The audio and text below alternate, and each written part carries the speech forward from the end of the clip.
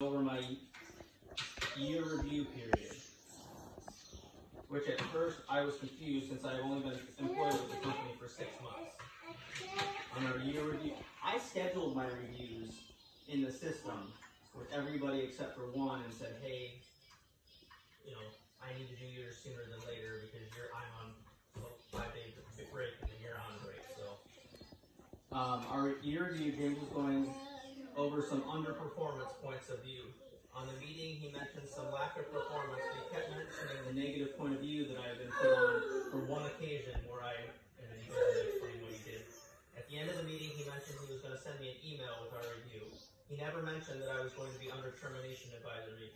After I read the email was when I noticed and felt that I was not being clear with. I also feel that this is retaliation, retaliatory to a situation that I addressed on the spot when it happened a few days ago, where I was ethnically and structurally